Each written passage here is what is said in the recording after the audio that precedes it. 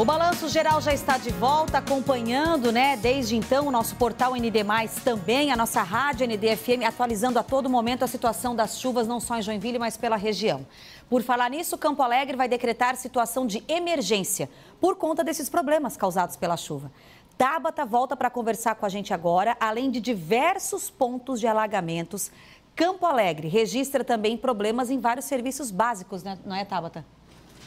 Isso mesmo, Sabrina. Olha só, a assessoria do município confirmou que os serviços de saúde também estão sendo afetados principalmente transportes de pacientes que fazem tratamentos em outros municípios. Os acessos de Campo Alegre, eles estão bloqueados. A Serra Dona Francisca, Serra de Corupá e até o acesso via Doutor Pedrinho também estão bloqueados. Então, o município de Campo Alegre está praticamente ilhado.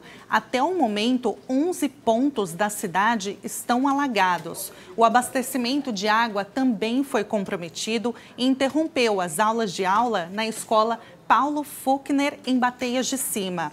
Segundo a Prefeitura, cerca de 20 famílias foram retiradas de suas residências e estão em abrigos. Pessoas que moram nos bairros Bateias de Cima e Fragosos, elas foram levadas para abrigos por segurança. Guaramirim, Corupá, São Bento do Sul e Joinville já decretaram situação de emergência. E como você falou, Campo Alegre deve decretar a situação de emergência ainda no dia de hoje. O município está preparando tudo durante esta manhã e ao longo do dia deve liberar então o decreto de situação de emergência. Sabrina.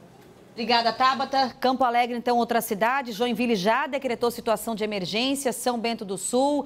E pela situação, como a gente ouviu agora, né? Serviços básicos tendo esses problemas, caminho sem volta também, porque agiliza. Se às vezes é uma necessidade de um recurso ou até de um material que já tenha via Estado, com o decreto de situação de emergência pode se tornar mais rápido, menos burocrático.